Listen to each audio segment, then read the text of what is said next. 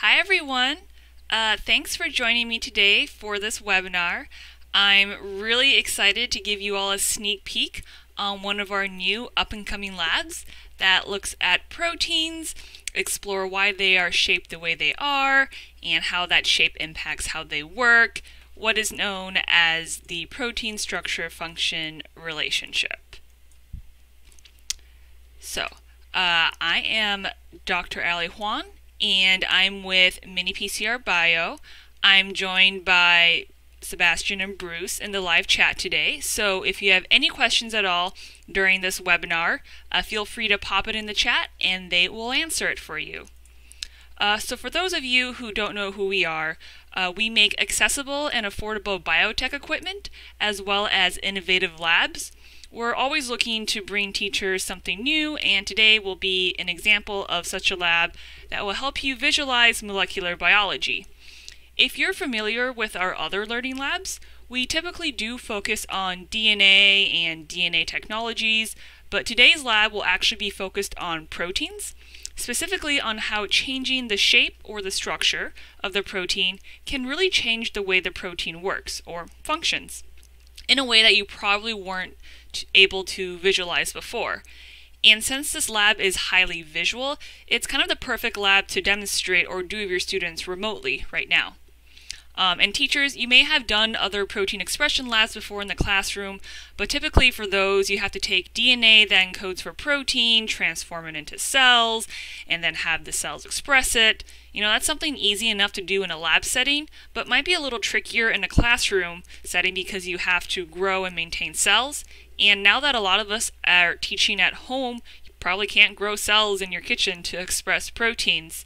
So to make the protein for today's lab, uh, we're using BioBits, which is a method of expressing proteins without cells. I do cover this technology in a previous webinar, so feel free to check that out for more details.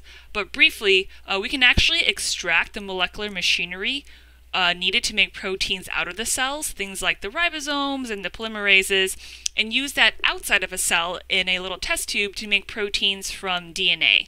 And these reactions are freeze dried, so all you and your students have to do is just to add the DNA samples directly to the freeze dried pellet, and it will make whatever protein that the DNA codes for.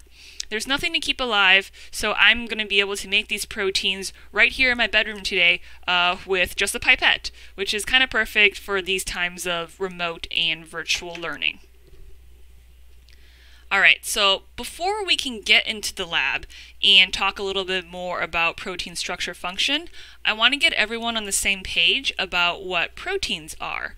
So, in short, proteins are the tools of life we all have a giant toolbox worth of different proteins, each with a different job to perform.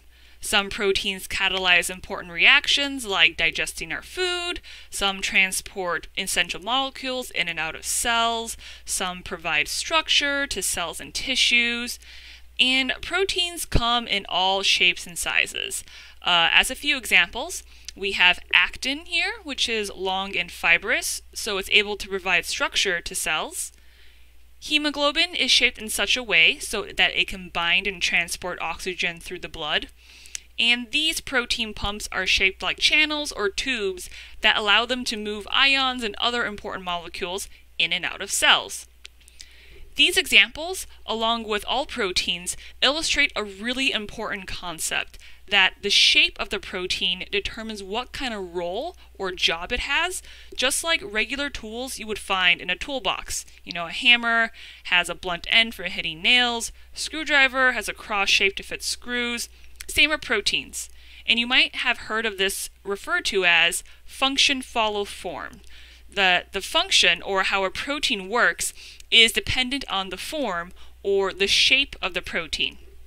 So the lab we'll be doing today will explore this idea, uh, but also allow students to get beyond these two-dimensional models and pictures and actually see this relationship in real life using real proteins that you'll be able to make. So in this lab, we will be starting with DNA samples and using that to make proteins. As a reminder, the information for making proteins is stored in the DNA. That relevant information is transcribed to RNA and then translated into building blocks called amino acids that assemble into a protein. I do cover this idea of the central dogma of molecular biology with another BioBits lab, so if you're interested, please check out my other webinar I did earlier this year on the BioBits Central Dogma Lab. Um, as an aside, if you are familiar with the Central Dogma Lab or have done it before, uh, you might remember in that lab that green represents DNA, red represents protein. Um, forget all about that uh, because the colors are actually going to mean something different in the protein structure function lab. So just as an aside. All right, so again, the building blocks of proteins are called amino acids, and there are 20 amino acids as shown here, all with different chemical properties based on their chemical structure. The amino acids are linked together in a linear chain to form the protein during translation, um, but how does a string of amino acids turn into all those different protein structures? Um, give me a second. I'm going to set up a little simulation here. So you can see here we have a chain of amino acids and when I click play here, you can see that the amino acids start interacting with all the other amino acids in the chain to kind of crumple up and form a three-dimensional structure. You know, these amino acids will interact and form different types of bonds with each other in order to form this three-dimensional shape. But you know, I'm just showing like a very short protein chain here. You can imagine there are so many potential interactions between all these different amino acids. So when looking at a structure of a protein, we actually often have to look at it at several different levels in order to wrap our heads around it. All right, turn off the simulation. So to understand how a protein folds from a linear chain of amino acids into a more complicated three-dimensional structure, we often model proteins at different levels of organization. We start with primary structure, which is just that linear chain of amino acids. This level of structure is useful for looking at the protein sequence and determining which amino acids are in the sequence and what order they are in. Amino acids don't exist as this linear chain though. They, as I said before, they're going to interact with each other and form different types of bonds. And at the secondary structure level, we can start to observe how amino acids interact with their close neighbors.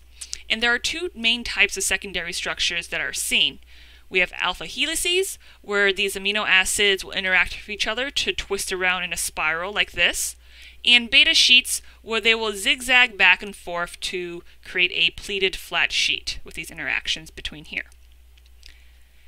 So at the tertiary structure level, we can start to observe how amino acids in these secondary structures form interactions with other amino acids that might be far away from them in the linear sequence.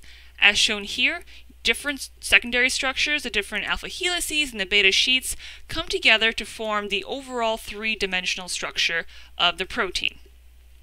There's also one more structure level, the quaternary level. It's not shown here because we're not focusing on that today, but briefly, that's when multiple protein structures like this one can come together to form one big multi-protein structure. So it seems pretty straightforward to look at the protein at these separate levels of organization, but oftentimes when learning about this for the first time, students miss how all this is connected and how you know the primary structure impacts the secondary and the tertiary structure of the protein and then how that determines function. So today's lab is going to give students something beyond models to help them really make this link between protein sequence, the structure, and the function. Um, at this point, you might be asking, where did all these protein models even come from? Uh, we can't see amino acids with just the naked eye. Uh, as an aside, scientists actually use a pretty neat technique uh, called X-ray crystallography to help determine what the protein structure might look like. I'm not going to get into much detail here today, uh, but briefly, they take the protein that they want to look at and they crystallize it into a solid. Uh, then they shoot X-rays at it and they see how the X-rays bounce off the solid, sort of like looking at you know the shape of a shadow puppet. Uh, using the patterns they observe and running it through a computer, they can create models to represent the protein. And there's more than one way to represent proteins, and you've actually already seen a few different types of models. Uh, first, there are space filling models, which I showed on my first slide earlier. Here, the amino, uh, the atoms in the amino acids are represented by spheres, as shown here in the hemoglobin model that you've seen before. This is useful for seeing the overall shape of the protein and specifically which amino acids are interacting with each other and how. Another common way to represent proteins is with ribbon diagrams, which I showed when we were looking at the different levels of structure on the previous slide. Here, the amino acids are depicted as a smooth and simplified ribbon path, as shown here in this model, which is actually also of hemoglobin. It's useful for seeing how the protein twists and folds and is organized, specifically how the secondary structures, the alpha helices and the beta sheets, fit into the tertiary structure and kind of see those two levels at the same time. Although, unlike the space filling model, you can't see the individual amino acids and how they interact. So, to highlight important amino acids within a ribbon diagram, a ball and stick model is often used. So if you kind of zoom in on the corner down here, you can see that the atoms are represented by balls and the bonds by sticks in these uh, kind of little green ball and stick model here. And this helps us zoom in on specific amino acid interactions within a ribbon diagram. And we'll be mostly using uh, these ribbon diagrams throughout the presentation. The more we know about protein structure function relationships and the nuances, the more we can understand the proteins that we find in nature and how they work. This is really important for understanding how biological concepts work. This knowledge will also be useful when it comes to protein engineering, which is a field all about engineering and designing new proteins to help solve a variety of problems or make research and experiments easier. The eventual goal of protein engineering is to be able to take a problem and precisely design a protein that addresses that issue, such as designing a protein to be a new medical treatment, a new enzyme to catalyze biofuels, or explore different bioengineering solutions to help the environment. It's not as easy as it might sound, though. Uh, to design a new protein from scratch, protein engineers essentially have to reverse engineer the protein structure function relationship. It's like telling yourself, all right, I'm going to make an origami swan out of a piece of paper with, and without instructions. And without any instructions, it's kind of hard to figure out the exact folds you need to make in order to get that swan in the end. Same thing with a protein. To create a protein of a certain shape, we have to figure out what order of amino acids will fold up into that shape, which you know can be mean millions of different interactions within a single protein because you have to look at how each amino acid would interact with all the other ones. That's definitely not something you can really work out with a paper and pen. And it's complicated enough when you're starting with the sequence and trying to predict up how it's going to fold up into its structure, but it's even harder when you're starting with the structure and working backwards towards the sequence. Uh, today's lab will explore some of the strategies and tools that protein engineers are using to help with this challenge. So most proteins and functions aren't visible to the naked eye. So in this lab, we'll be using fluorescent proteins, so you can actually see protein function and link that back to protein sequence and structure. Uh, fluorescent proteins are a special type of protein that when you shine certain types of light on them, like a black light, they will emit a colored glow or fluorescence. Kind of like when you shine a black light on highlighters, they'll light up. So these fluorescent proteins were originally discovered in jellyfish back in the 50s, and since then, scientists have actually found these fluorescent proteins to be really useful. Uh, because they light up, fluorescent proteins are often used in biology to label or mark different processes or parts in experiments to help track these processes, like shown here. They're lighting up different parts of the cell. So in our case, we'll be using fluorescent proteins in the lab to better understand and observe protein function. So here's an example of what our fluorescent proteins are going to look like in our test tubes today, uh, similar to how we're going to see them later. Here we are shining a blue LED light on them in this box, which is exciting the proteins and causing them to emit fluorescent color.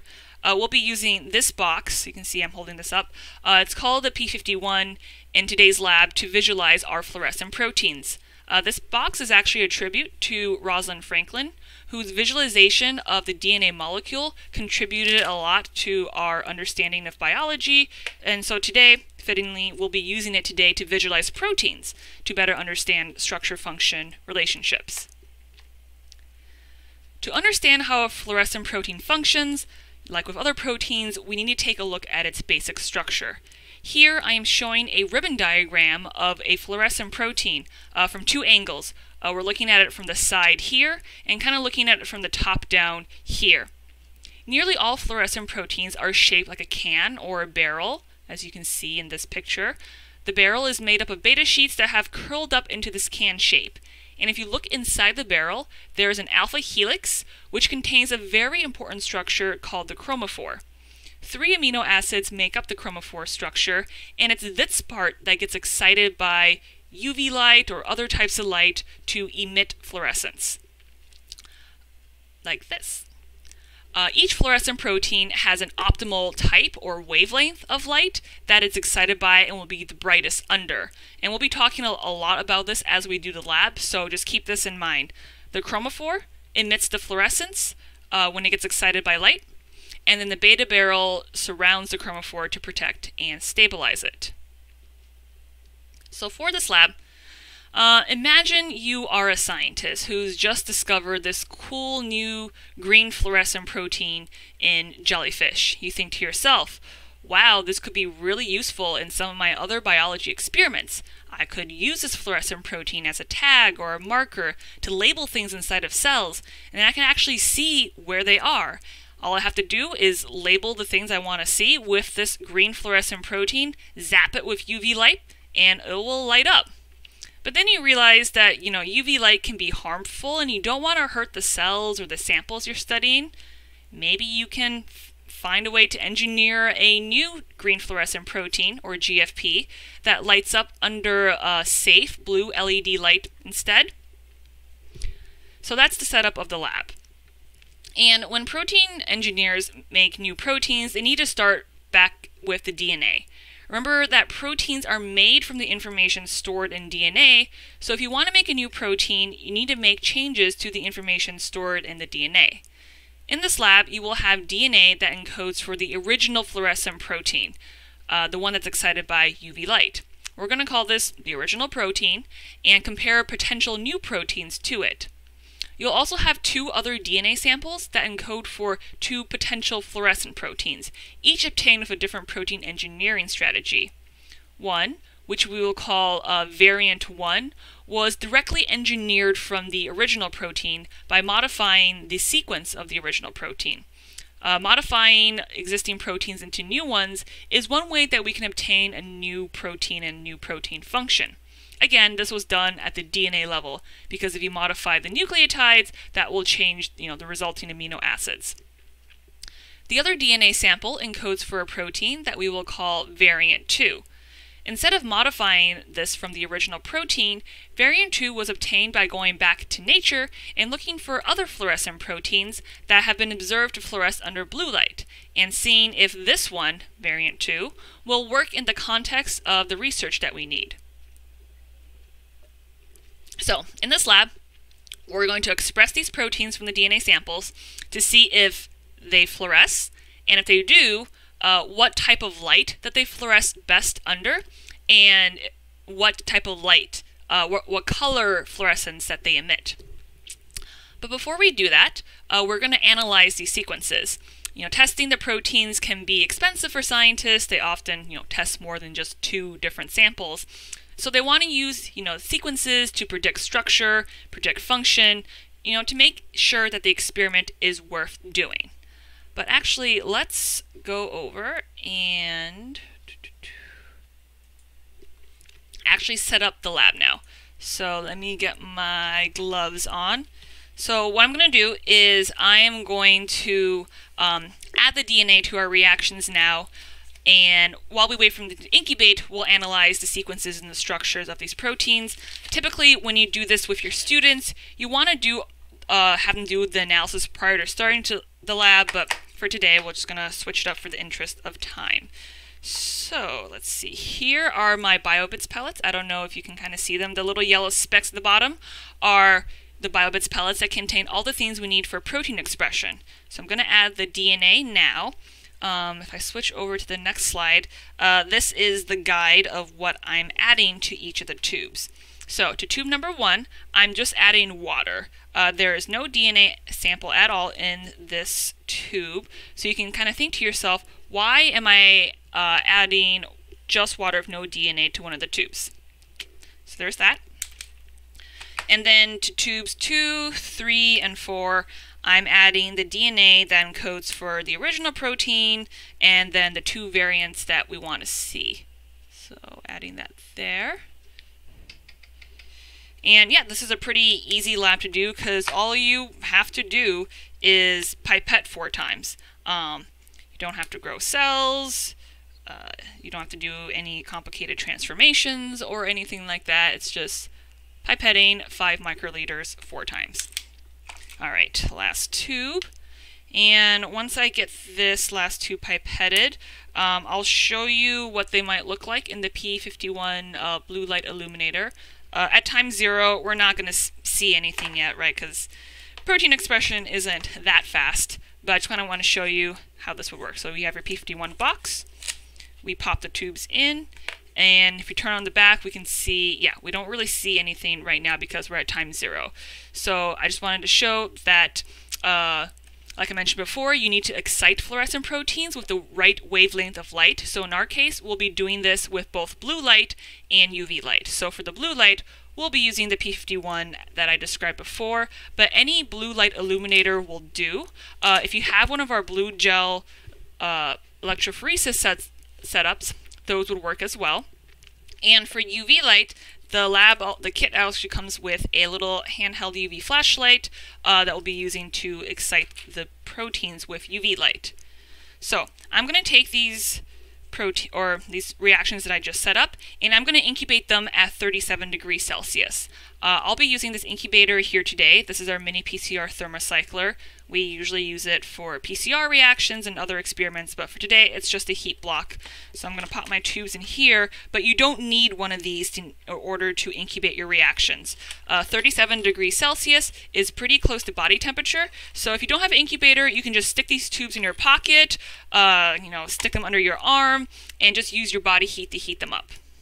So we should see initial results around 15-20 minutes. So while they're incubating in there, uh, let's do some protein analysis. So take off my gloves and get back to the slides. All right, so as you just saw, uh, the lab was pretty straightforward to do. I just pipetted the DNA into those tubes, uh, but to understand the results we're going to get, though, we need to take a look at the sequences and the structures of the proteins we're about to make. So for our analysis, let's start at the primary structure level, which again, if you look in the corner down here, is just the order of the amino acids that make up the protein sequence. Instead of representing the protein sequence of just blue circles, though, uh, I'm representing each amino acid by their single letter abbreviation, M for methionine, V for valine, etc. And here I've stacked the protein sequence for the original protein directly on top of the sequence for variant 1, according to where they most match up, and then I highlighted in yellow where the amino acids are identical. The three amino acids in bold in the middle here circled here, um, are the three amino acids that make up the chromophore region. If you remember before, that's the part of the protein in fluorescent proteins that is most responsible for the fluorescent function. So, Comparing the original protein to the protein sequence of variant 1, we see that the two protein sequences are nearly identical, right? It's pretty much yellow all the way through, except for just one single amino acid. Uh, this is not surprising. We know that the original protein was modified into variant 1, and it looks like just one thing was changed. Just by looking at this, I might guess that the original protein and variant 1 protein uh, are very, you know, the similar type of protein, that they're both fluorescent proteins, and I would say they probably will have nearly identical three dimensional structures. But I kind of hesitate to say that the function will be exactly the same because the one difference we do see is right smack dab in the middle of the uh, chromophore region, which again, we know that's really important for function. So we got to kind of look at other levels of analysis as well. So the pre-lab will have your students analyze predicted secondary structures separately, but in the interest of time, we're going to look at secondary and tertiary structures together in this webinar, since you can see the secondary structures within the ribbon diagrams of the tertiary structures. So for our purposes, we can consider the tertiary structure to be the final three-dimensional folded structure of these fluorescent proteins. These ribbon diagrams were generated with an online prediction model. Tertiary structures are actually pretty difficult to predict because all possible amino uh, acid interactions have to be considered. What prediction models like this one do, instead of trying to compute all the possibilities, is that they actually compare the protein sequence that you input to other known uh, protein sequences in like a database and they base their predictions off of what they know the known protein sequences structures to look like. So, in these tertiary structures, uh, purple is representing the amino acids that have folded into the alpha helices, while the yellow represents the amino acids that have folded into beta sheets. Not all amino acids will be part of an interaction that forms a secondary structure, so those will be just represented by these blue lines. The legend is written here. Uh, we also added a ball and stick model in green in the middle here to look at the chromophore so we can highlight that region. And just looking at you know the original versus variant 1, I don't see a difference between overall secondary or tertiary structures between the two proteins. Again, this is not surprising to me because we just did see that their primary structures or their protein sequences were nearly identical. Uh, but that ball and stick model of the chromophore is there uh, to give us more detail about the amino acids, and that is where the one difference in the sequence we did see. So let's kind of zoom in on this region and take a look.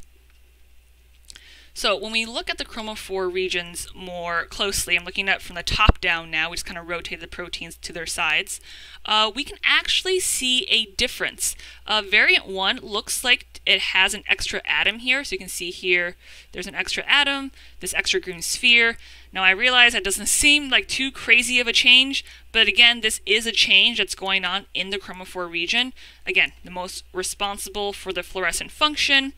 You know, could this difference seen in the structures correspond to a difference in function, even though the rest of the protein structure appears identical? Uh, not sure. We're going to have to look at our results from the lab to find out what the function actually is, but doing this analysis gives us insight to the sequence and the structure of these proteins and will allow us to connect that to function once we finish the lab and kind of put it all together. All right.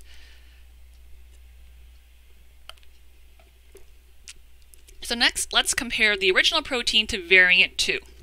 As a reminder, variant 2 was not modified from the original, instead it was obtained by looking for other fluorescent proteins in nature. Okay, we can clearly see that, you know, the protein sequences of original protein and the variant 2 protein are more dissimilar than similar. It doesn't even line up very perfectly. You can see uh, the gaps with the dotted lines uh, here. That just means it didn't line up perfectly. Um, we see differences not only in the chromophore region, as shown in bold here, but also the rest of the protein sequence as well.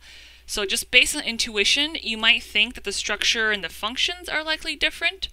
I'll just point out that in fact it might not look like it, but if you actually count up the number of amino acids that are the same, it's about 20% of the amino acids that are the same, which in terms of proteins is actually considered pretty similar. But we know uh, we won't know for sure unless we've done some more analysis and actually made and tested the protein. So let's just uh, remember this and put a pin in this. So moving on to the tertiary structures, again, we can kind of see the secondary structures within the tertiary structures. Uh, we, we can see some differences uh, here, right? Just off the bat, we can see, you know, maybe the location, the lengths of the alpha helices are a little different. The angles and the numbers of beta sheets might be different. But I'm actually really surprised just looking at this. They actually have pretty similar overall folded structures, especially if you remember how just different their protein sequences were. Uh, most importantly, I can see important elements of a fluorescent protein in both of these. Uh, I can see the beta barrel surrounding the chromophore in the middle. So variant 2's protein sequence may look quite different than the original, but apparently its amino acids are ordered and with the properties in such a way that it still results in similar interactions as the original protein. How can this be? Uh, all goes back to individual amino acids and how they interact with each other. There are so many potential interactions between all these amino acids based on their chemical properties, based on where in the sequence they're located, and with so many different possibilities, there you know may be more than one combination of amino acids that can create a certain alpha helix or beta sheet interaction. And even though variant 2's protein sequence may look quite different than the original protein, sequence, uh, apparently its amino acids are ordered in a way with such properties that it results in a similar amino acid interactions and therefore structure as the original protein. Again, these are all just predictions. We also can't say much more about the specific function of these fluorescent proteins. Uh, we know that both variant 1 and variant 2 have the same overall structure as the original protein, but that doesn't confirm that they will actually fluoresce. And if they do fluoresce, you know, how are they fluorescent? What type of light do they fluoresce best under? What color are they going to emit as their fluorescence? Uh, especially that we did see both differences in the chromophore region between the original protein and both variant 1 and 2. We know that it could have a huge impact on specific uh, fluorescent function. So there's actually one more activity that the students can do before the actual experiment. In the interest of time, I'm not going to go through it, but just briefly show it. This analysis actually will allow us to make predictions about the specific function before actually doing the lab. Uh, this technique is called homology modeling. Basically, you compare your sequence to a known protein sequence with a known function, similar to how those prediction models for the tertiary structures worked. In this analysis, students will compare their sequences for uh, the original, variant 1 and variant 2, to four different known fluorescent protein sequences and their known functions to gain even more insight. So this table here has the sequences, parts of small portion of the sequences here, and then also notes details about the fluorescence of these known proteins, what type of light excites the fluorescent protein, and what type of color of fluorescence is emitted. Remember, a fluorescent protein can be excited by different types of light, but it does have one optimal type or wavelength of light that it will fluoresce brightest under. So that's what's listed here. Students can cut these out, line them up with each other, and see which known sequences are similar, and based on that, make specific predictions about what kind of light will excite their proteins the most, and what color fluorescence will be emitted in turn. All right, so that's all of the analysis. Uh, we have some thoughts and predictions now. So let's take a look at our tubes now. Um, like I said before, you can start to see initial results about around 20 to 30 minutes or, you know, around by the end of class. So I'm going to pop my tubes into the P51 here. Let's take a look. All right. So let me spin this around turn off the light here so we can see. So you can start to see, yeah, maybe like the third tube is starting to have some green glow. Um, you can make initial ob observations from this. I don't think we left it in here for the full 20 to 30 minutes, so it's not the full results yet. Uh, so you should actually have your students come back the next day or the next class period and check their final results. And so in the interest of time, I did set up tubes yesterday, and we can actually go through them one by one to see our what the final results would look like. All right, so I'm going to pop these tubes in here one by one so you can actually see. So first, uh, tube 1, which because we only added water, is our negative control. It's really important to have a negative control because sometimes the UV light or the blue light will reflect off the tube and the BioBits reaction inside will seemingly give off a glow. Uh, this glow doesn't represent anything biological, it's just our baseline. So when we compare our other tubes to this tube, we'll know if we're seeing something real or if we're just seeing is just baseline. So you can see that there might be kind of a faint glow under blue light and if I shine UV light on it, you can kind of see what I mean about you might, if you don't know what you're looking for, you might uh, think that was a real glow from a real fluorescent protein. In fact, it's not. It's just the it's just the UV light bouncing off uh, different elements within the reaction. So we know that's what the background of the reaction looks like, so we compare all the other tubes to it. All right, so let's take a look at tube number two. Uh, again, tube number two is the original protein, the original green fluorescent protein from the jellyfish. We see that under blue light, there is some green fluorescence. It's not the brightest thing in the world, but we can definitely see compared to the negative control, it's definitely green. So blue light doesn't seem to excite it that much, uh, but then if we turn this off, I can balance this, and we shine uh, UV light on it, if I can angle it, you can see, wow, okay, it turns, it's really, really green under it. In fact, it's kind of uh, blowing out my webcam and oversaturating it. Um, so looking at that, we see it's very, very green and looks much brighter under UV light. That's not surprising, right? We knew going in that this is the original green fluorescent protein. It's going to glow green. It's most excited by UV light and less so by other types of light like the blue light as shown here. All right, so let's take a look at our first variant, variant 1, which again was modified from the original green fluorescent protein. Um, let me turn this on. So, okay, so we see under blue light, it looks much brighter green than the original green fluorescent protein. That does seem to indicate that this new variant is more excited by blue light. Let's, you know, look under UV just to make sure. Turn this off. All right, so under UV, if I can, all right. Under UV, we can see that it is still green, um, but that, you know, this one is much brighter, right? You can see it. I hopefully it's coming through webcam. So we can see that under UV it's still green, but when compared to the original green fluorescent protein, it's much dimmer. Um, I will show pictures on slides after this in case this is not coming through webcam. And finally, let's look at our second variant, variant 2, which again was obtained by looking at other fluorescent proteins in nature. So when we look at it under blue light, whoa, look at that, it is red. Uh, we've been used to looking at green fluorescent proteins in the previous tubes, so this one is kind of a surprise. It's a totally different color. Um, let's look at it under UV light, and whoop, where goes my UV flashlight? And under UV light, yep, it's still red, um, and that's interesting. Uh, even though it's most excited by blue light, uh, the emitted fluorescence is definitely a different color than we expected. Alright, so hopefully all those colors came through to you guys on the webcam, uh, but if not, I'm going to switch back to my slides now, and we'll go over the results with these pictures here. Again, to recap, the negative control is important to tell us what the baseline reaction looks like if there's no fluorescent protein in there. Uh, didn't see much under blue light, but the UV seems to be picking up some noise, so just so we know that this is all just background.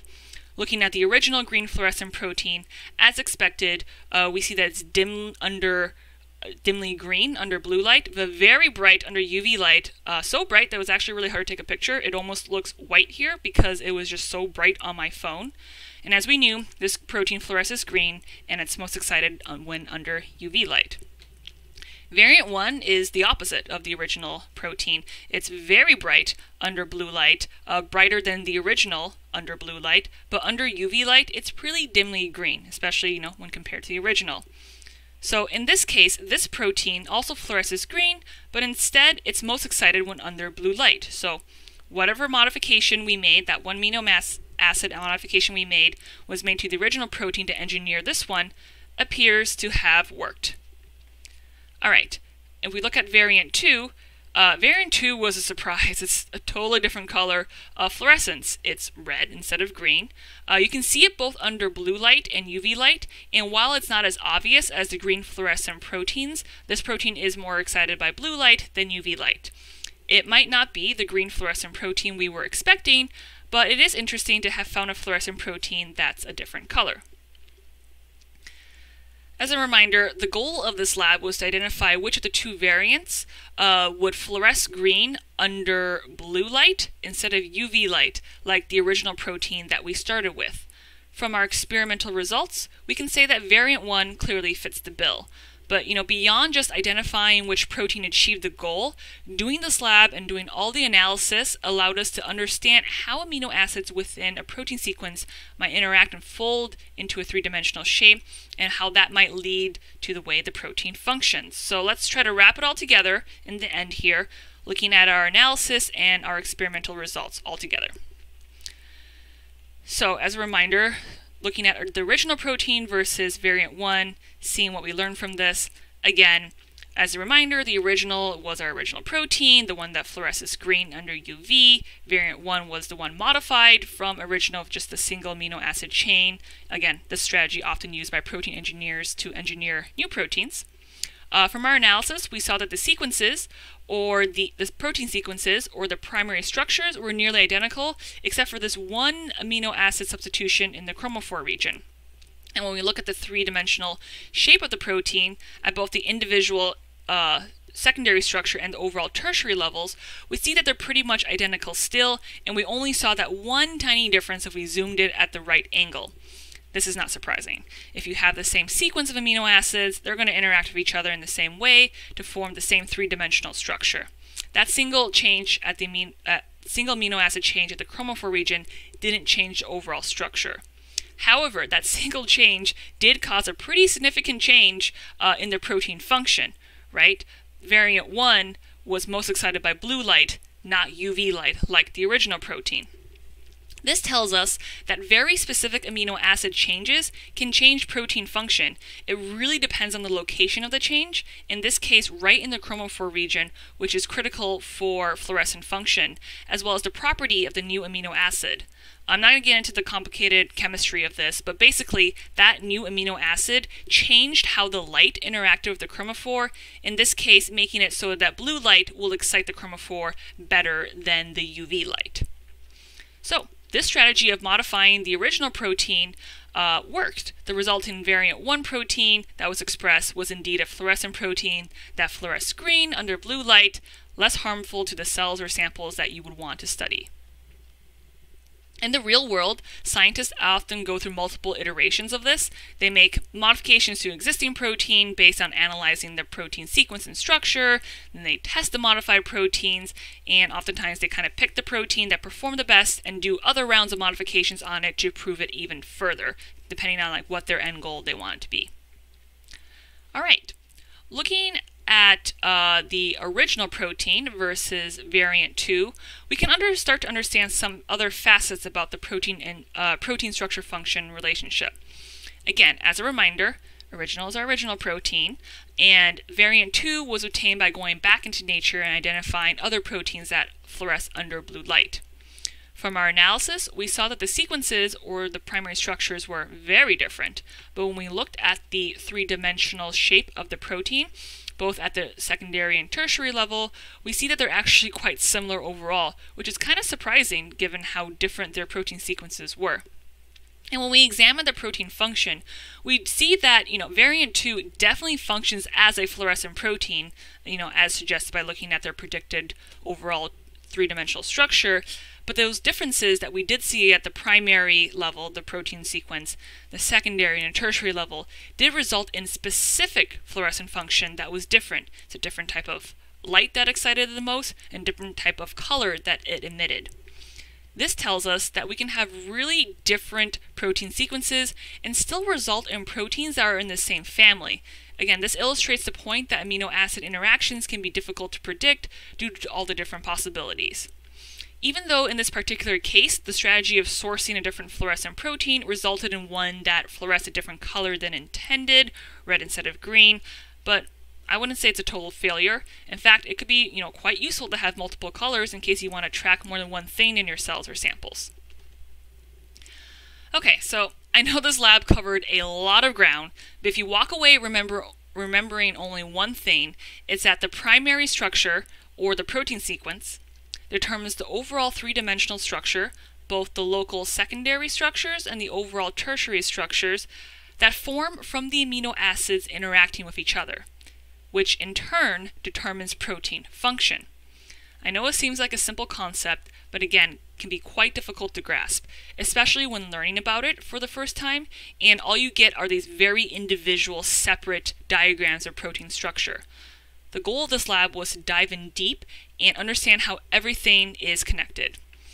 We try to make this lab super easy to do. All you had to do was pipette DNA into tubes. This can be easily done at home, but it does cover a lot of ground. It allows your students to analyze protein sequences, explore different tools to look and model different protein structures, and then you actually get to make real proteins to examine the function and link that back to the analysis. And we use several specific examples in this lab to show how changing uh, the protein sequence can impact how it folds into its final shape, both looking at really, really small specific changes and really, really large different changes in the protein sequence, and how all of that impacts function. Understanding and engineering proteins can help solve problems, ranging from making research and experiments easier, as in our lab scenario today, to finding real solutions in issues in medicine or the environment. So it's really important to understand these basics of structure-function relationship first, and we hope that this lab helped shed more light, or fluorescent light, on this for you and your students.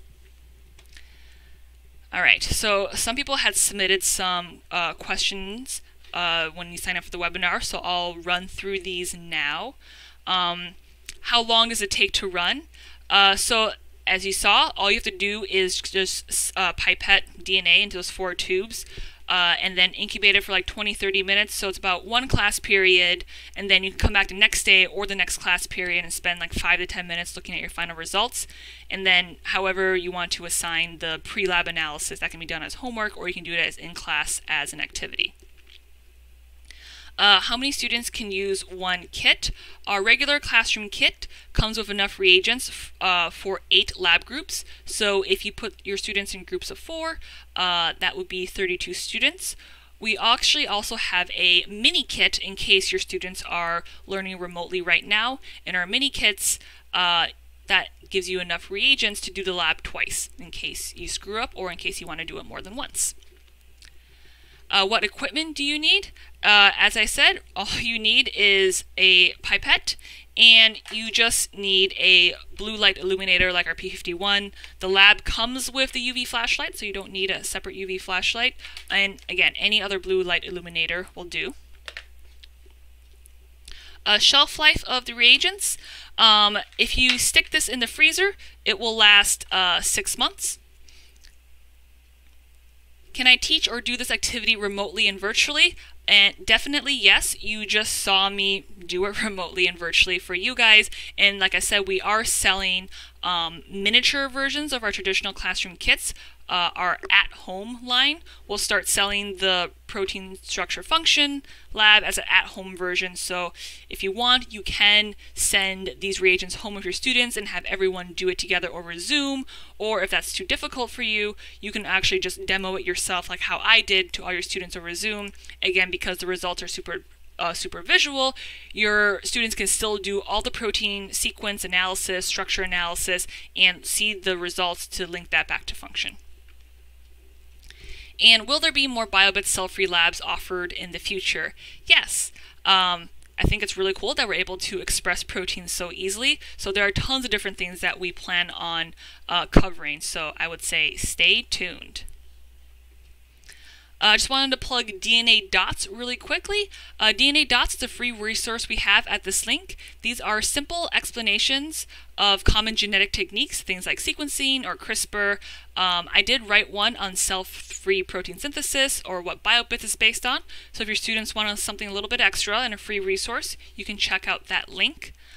Um, if you really like the P51, we actually have a bunch of other labs that you can actually do in them. We have one that covers DNA structure. Uh, we have another BioBits lab uh, that covers central dogma, looking at transcription and translation. Uh, we have an enzyme lab, look at a, a specific type of protein function. Uh, we have our qPCR lab, which explores how qPCR works, which is, you know, the diagnostic tool that's being used to diagnose diagnose COVID right now. So if you want to explain to your students how qPCR works, this is a really good lab for that. Our chlorophyll lab um, is a free resource because all you have to do is go outside and pluck some leaves off a tree, uh, mash them up, and look at them under blue light, and you can see uh, what color fluorescence that chlorophyll emits. And it's a pretty cool lab to do right now with the leaves changing, actually. And then we have our Intro to Fluorescence lab, which is a really nice uh, lab to show your students how to make dilution series, how fluorescence works, um, so you can check all those out. And this is our full suite of all our learning labs. Uh, like I said, we just went over a couple of our P51 labs. We have more BioBits cell-free labs coming. Uh, we have a couple of new at-home labs, which allow your students to do uh, hands-on labs at home. And then we have our traditional uh, PCR gel electrophoresis labs as well. So, uh, thank you so much for listening to me. Hopefully this was helpful. And if you have any questions at all, uh, you can send an email to team at minipcr.com. The email is also in the description, and we can help you out with all your questions. So thanks again for listening, and I hope you guys have a great day. Bye.